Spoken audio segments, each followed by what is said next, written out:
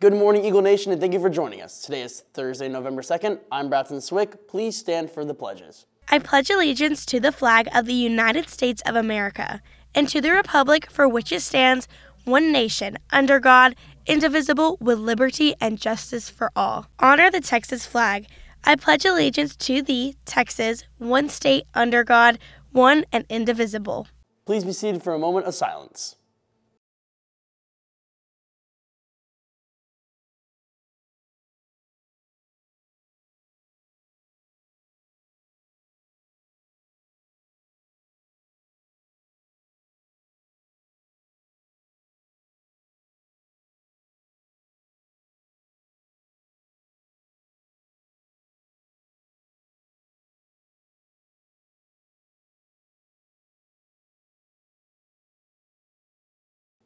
Here are today's announcements.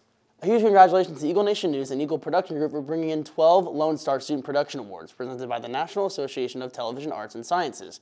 This is almost double what the school down the road got, so great job being in an EPG. The Out of Darkness Walk will take place on November 4th in Windsong Ranch. Check-in begins at 8.30 and the walk starts at 9.30. Follow the QR code for information and to register or donate. Registrations are also available on site the day of the event. Hope Squad, PHS staff, students, and families will all be participating. Come join us. If you have any questions or need help registering, please contact Mrs. Clayton in the lower house.